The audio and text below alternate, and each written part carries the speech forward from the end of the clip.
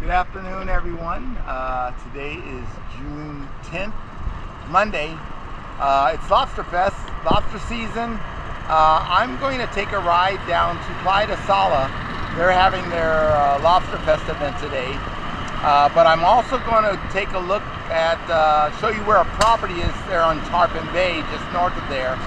That's for sale. I talked to the owner and I told her I would shoot some video so for any of you that are lo looking at a single family home, this is a smaller one, but you can also build uh, uh, another home on the property. It's large enough to put another home there. Um, uh, you'll be able to chance to see that and you can ask me any future questions that you want.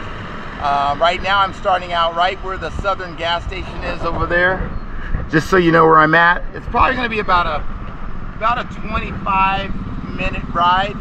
Uh, I don't know how much of it I'll edit out on the way down there, but there might be some new properties or you'll see some properties that have been being built, that were being built and see how far along they've come. Uh, but I'll subtitle, notate that as we go along our way.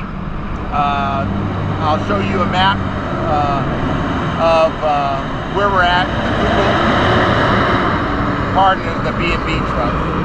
But anyway, uh, hope you enjoy the video you like the video, you can always like and you can subscribe to get updates when I post again. Uh, this is Nate Belize. I hope you have a great day. Take care. Bye-bye.